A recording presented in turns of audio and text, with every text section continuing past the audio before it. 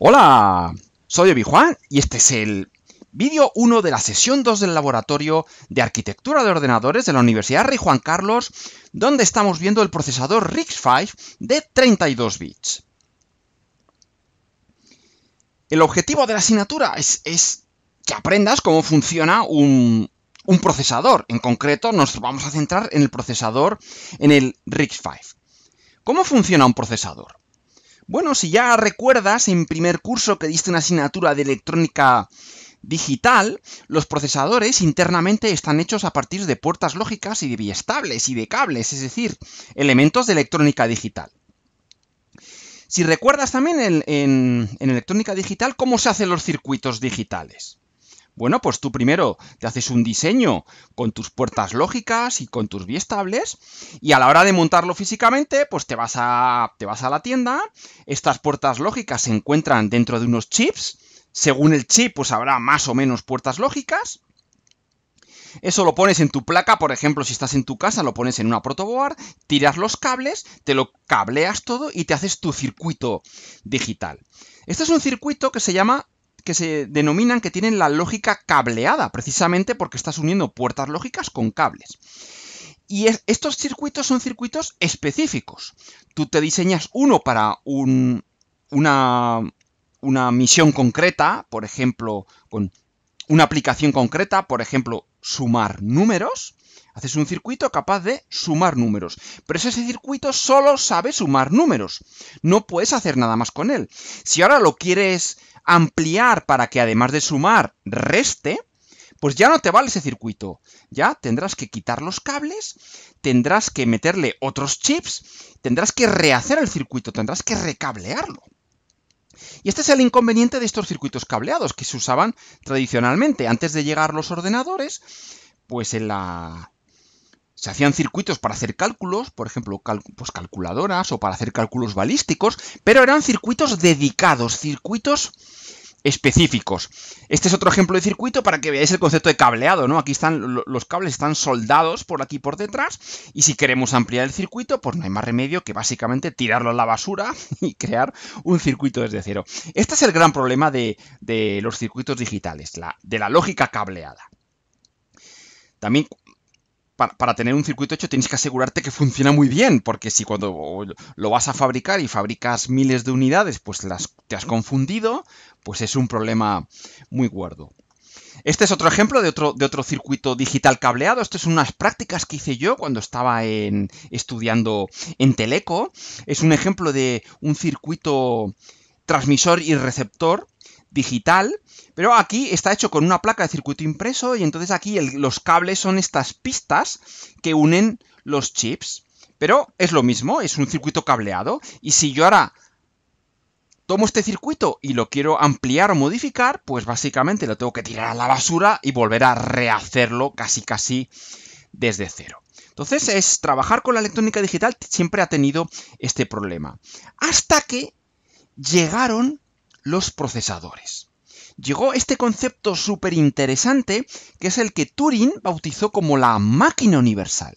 Y se trata de un circuito que está cableado internamente, está formado por puertas lógicas y por biestables cableados, pero que su comportamiento no depende de cómo están cableados por dentro estos elementos, sino que depende de un programa. De manera que si tú le le metes un programa que sabe sumar números, pues de repente tienes un circuito que sabe sumar números. Si le metes un programa que es capaz de hacerte un cálculo balístico, pues tienes un circuito que te hace un cálculo balístico. Pero físicamente es el mismo dispositivo, no has tenido que recablear ni cambiar nada, simplemente cambiarle el programa. Pues esta es una idea muy potente que hoy en día estamos súper acostumbrados a utilizar esta, esta idea de, programa, pero cuando llegó fue algo como, como muy, muy revolucionario y los mejores pensadores del momento, pues Alan Turing, Von Neumann y toda la gente de la época, pues empezaron a, a crear esta, esta idea de máquina universal a la que podemos programar según el programa que metamos, hace una cosa u otra. Pues Y esto es lo que abrió las puertas al mundo del software. Ahora ya, en vez de centrarnos en crear circuitos específicos, creamos este circuito universal, ya vas a la tienda, te compras el circuito universal y lo programas. Estamos ya en el mundo del software. Hay que ver cómo meter las instrucciones inteligentemente para que el procesador haga lo que nosotros queramos hacer. Y así los, los programadores, pues en realidad lo que son o lo que somos son domadores de CPUs. Es decir, queremos hacer que con nuestros programas la CPU haga lo que nosotros queramos. Bueno, pues en esta asignatura vamos a, ver cómo funciona esto. ¿Qué magia hay en, este circuito procesador precisamente para comportarse como una máquina universal? Y os vais a sorprender que la idea es tremendamente sencilla. Lo vamos a ver aquí con, esta animación que voy a hacer aquí con el Inkscape así a mano. Bien, tenemos dos componentes. Por un lado, esta máquina universal, el procesador, que ya recuerdo que en, nuestro circuito que teníamos aquí, pues esta es todo aquí. Bueno, esto en realidad, esto es una, es una FPGA, que es un concepto un poquito distinto, pero para nosotros es como si hubiésemos ido a la tienda y esto es un procesador RISC-V. Pues aquí tenemos otro chip que es la memoria. Aquí es donde se va a almacenar el programa y aquí es donde se va a almacenar, y bueno, aquí es donde está físicamente mi procesador, mi RISC-V. Tenemos estos dos elementos. Y esto lo tengo aquí representado en este dibujo así. Este es el procesador con existencia física y esta es la memoria que también es un chip con existencia física. Pues bien, aquí en la memoria lo que hay almacenado son instrucciones. Lo que le dice al procesador qué es lo que tiene que hacer. Esto lo, lo ha generado un programador todas las instrucciones que haga aquí para que el procesador haga lo que nosotros queramos. Bueno, pues el funcionamiento de este procesador es muy sencillo. Tú este es un circuito que cuando tú lo alimentas, le das la alimentación, con lo cual esto empieza a funcionar, el comportamiento de esta máquina cableada es el siguiente.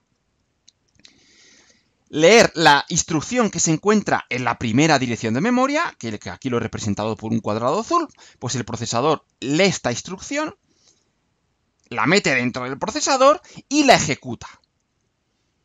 También recordamos de las veces pasadas que aquí en el procesador tenemos unos registros, el registro X0, el X1, el X2, que están aquí dentro, están dentro del procesador. Y esta instrucción, por ejemplo, puede ser la instrucción que me permita pues, sumar, inicializar uno de esos registros o sumar dos registros. Bueno, el procesador carga la primera instrucción y la ejecuta. Y pasa a la siguiente carga la siguiente instrucción y la ejecuta. Que ejecutarla será lo que sea, incrementar, sumar, restar, tomar una decisión, etc. Toma la siguiente instrucción y la ejecuta. Pasa a la siguiente ejecución, a la siguiente instrucción y la ejecuta. Pues este es el comportamiento básico. Leer instrucción, ejecutar instrucción. Leer instrucción, ejecutar instrucción. Y si no le decimos nada, por defecto el procesador siempre ejecuta la siguiente instrucción que se encuentra en memoria.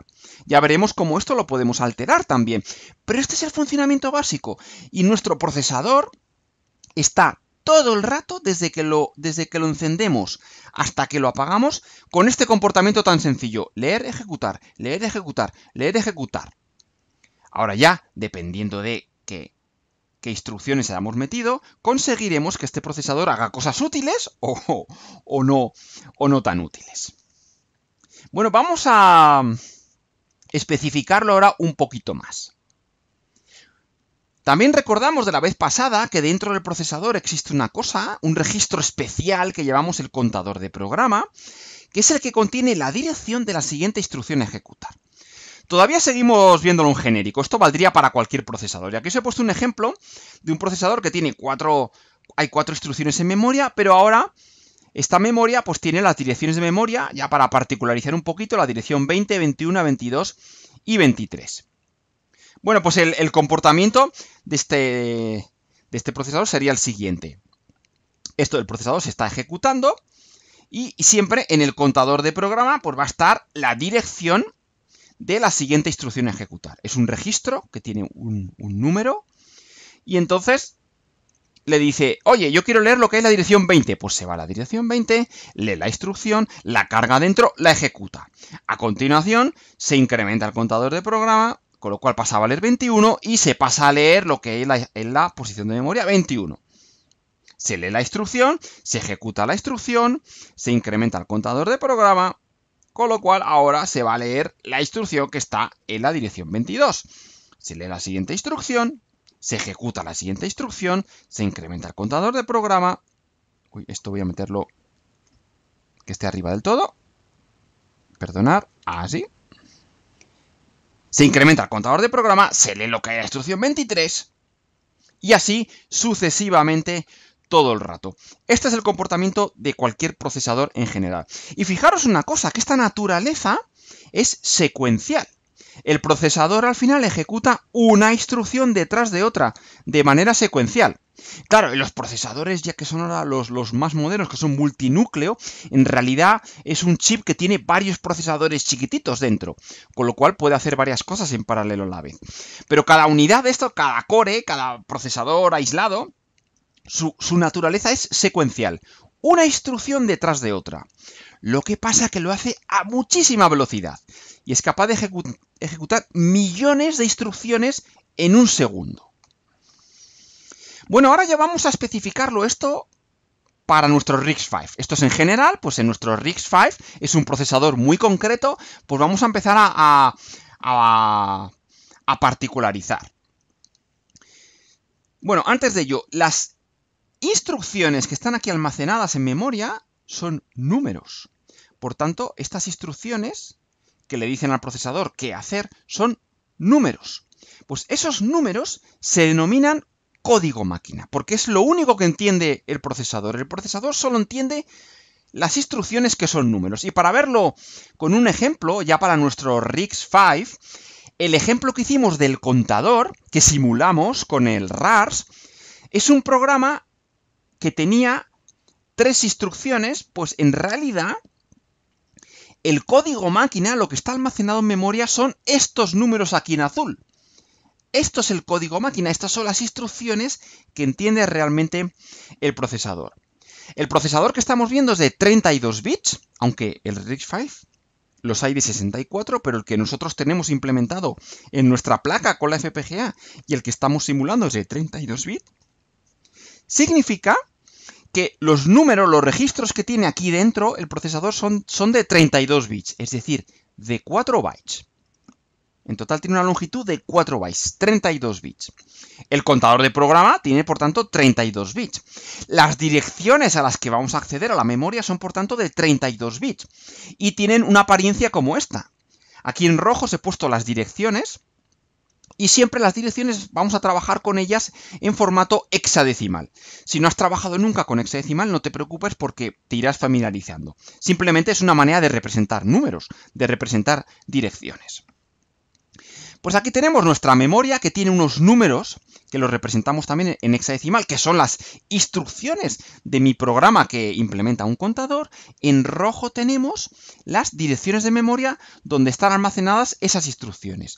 Pero como las instrucciones del RISC-V son de 4 bytes, de 32 bits, pues la, una instrucción está, por ejemplo, en esta dirección, en la 0040000, pero como ocupa 4 bytes, la siguiente instrucción se encuentra en la dirección 0040004, es decir, 4 bytes más arriba, porque cada una ocupa 4, 4 bytes, cada instrucción ocupa 4 bytes.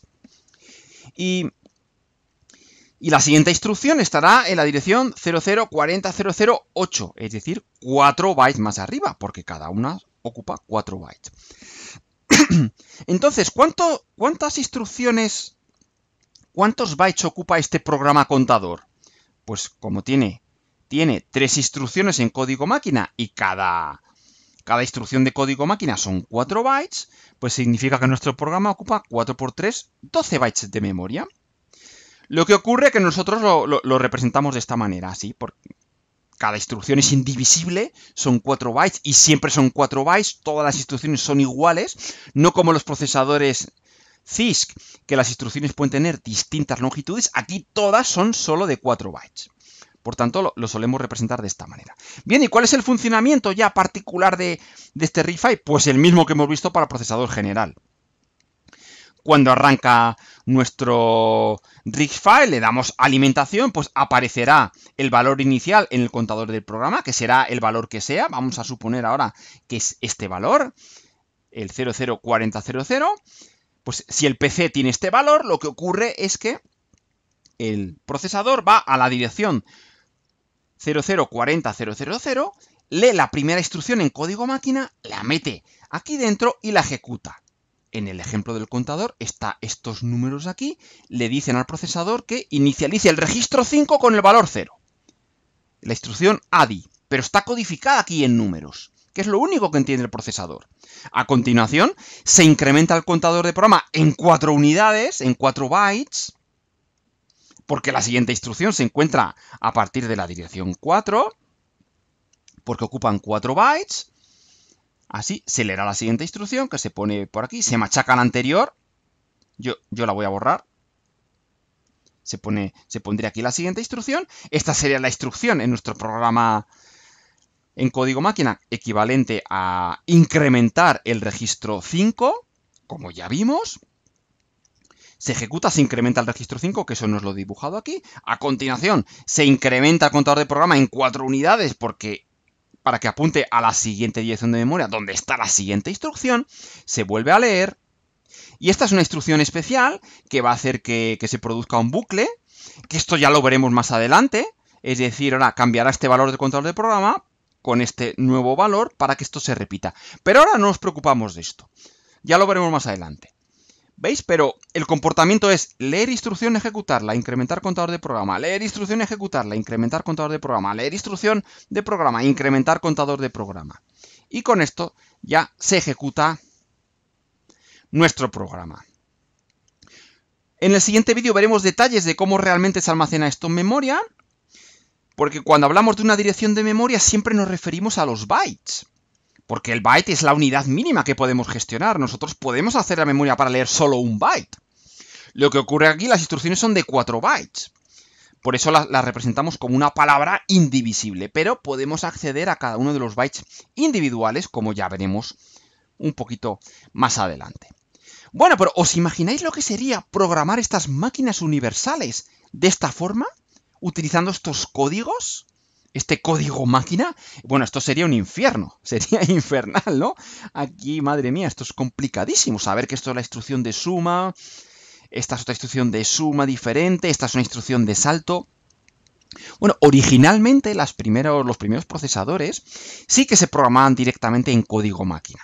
La misión de los programadores era precisamente introducir estos, valores en la memoria correctamente. Pero ahora, afortunadamente, pues ya no lo hacemos así. Pero ojo, el procesador solo trabaja con números, las instrucciones son números, las direcciones de memoria son números. Pero nosotros, los humanos, no trabajamos con números.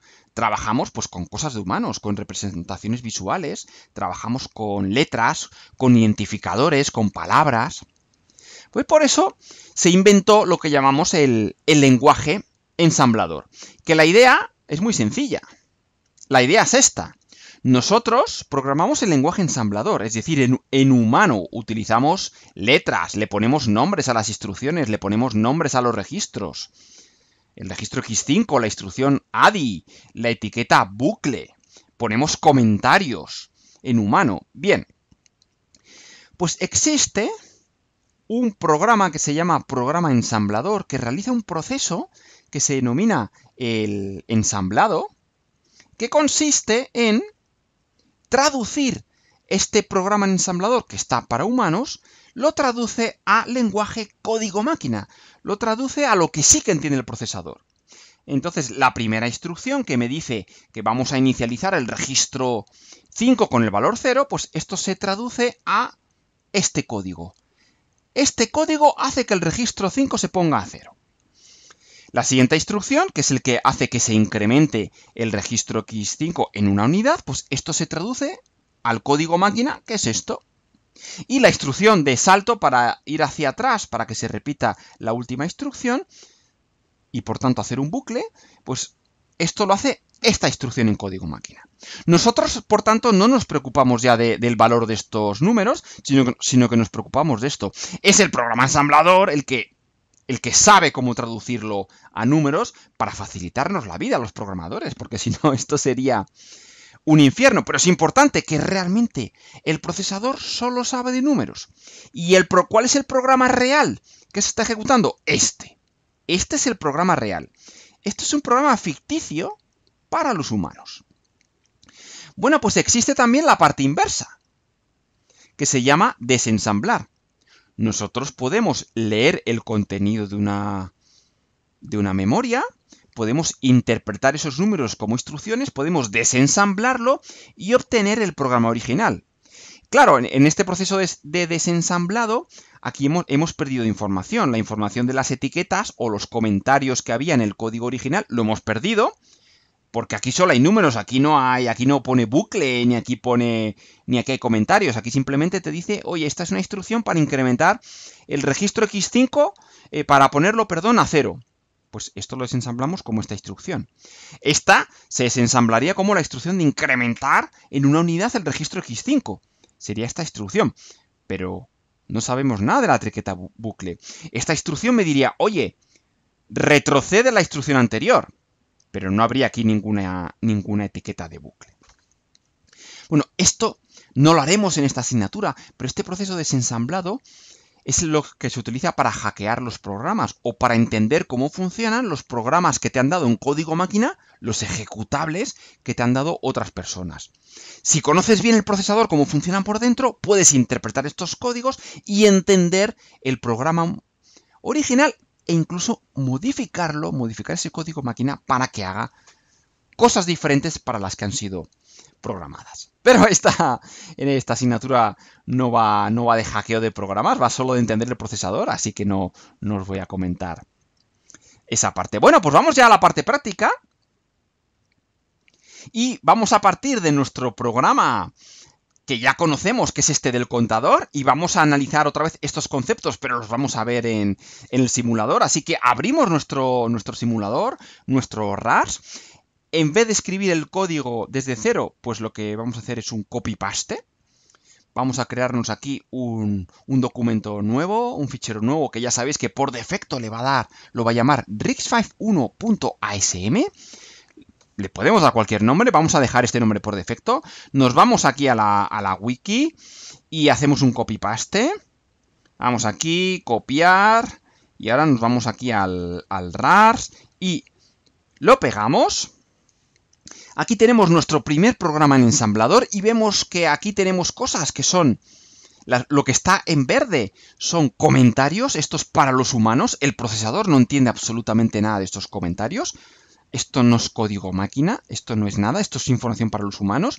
Tenemos otras instrucciones en fucsia, aquí está el punto text, que ahora luego veremos para qué significa estas instrucciones en, en rosa. En realidad no son instrucciones, es información que le vamos a dar a nuestro programa ensamblador, este programa que me hace la traducción. Esto sí es una instrucción el lenguaje ensamblador que se traducirá a código máquina. Esto es una etiqueta que tampoco la entiende el procesador. Esto es otra instrucción. Pues bien, para convertir esto a código máquina, esto ya lo sabemos hacer. Primero es necesario grabar el, el programa. A continuación le damos a este botón de aquí, como ya sabemos. Con esto hacemos el ensamblado. Y esto nos lo traduce a código máquina. Y esto lo vemos en esta columna que pone aquí Code estas son las tres instrucciones de mi programa. Así que si a mí me preguntan que cuántas instrucciones tiene mi programa en ensamblador, podríamos inicialmente contarlas aquí, pero esto es falso, aquí hay más cosas. Aquí tenemos esto, tenemos comentarios, tenemos etiquetas, tenemos más cosas. Las instrucciones reales que tiene mi programa son estas. Esto es lo que ejecuta el procesador. Una, dos y tres instrucciones. Como la arquitectura del RISC-V, todas las instrucciones siempre tienen 4 bytes, la longitud de mi programa va a ser 4 x 3, 12 bytes. Vamos a ocupar 12 bytes de memoria. En esta columna de aquí, esta que pone address, estas son las direcciones donde se encuentran almacenadas mis instrucciones del RISC-V. Esta instrucción, en este caso, pues me la está asignando el simulador. Y ya veremos que es que aquí en el, en el, simulador, pues los programas que ejecutamos aquí en el simulador, pues se van a almacenar siempre a partir de esta dirección.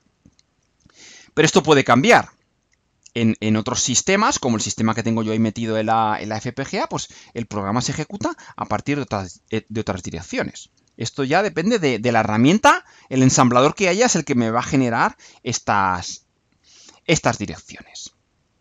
Bueno, pues con esto ya tenemos una primera intuición de, cómo funciona. Por supuesto, aquí esto ya lo podemos simular, como ya sabíamos hacerlo. Y aquí, como ya habíamos visto, el contador de programa contiene la dirección de la siguiente instrucción, que es esta que tenemos aquí. Entonces, esto está almacenado en memoria, pero al darle aquí al play, lo que ocurre es que la instrucción se me mete en un registro interno que no es visible aquí en el simulador, la ejecuta, cambia el contador de programa, y me apunta a la siguiente instrucción en memoria, pero esto está almacenado en un chip diferente en el chip de memoria. Al darle aquí, ese, este número se trae aquí al procesador, se ejecuta la instrucción, que hará lo que sea, se incrementa el contador de programa, etcétera, etcétera, y así es como ya funciona mi programa. Esto es todo desde Obi-Wan Academy y que el RIX 5 os acompañe.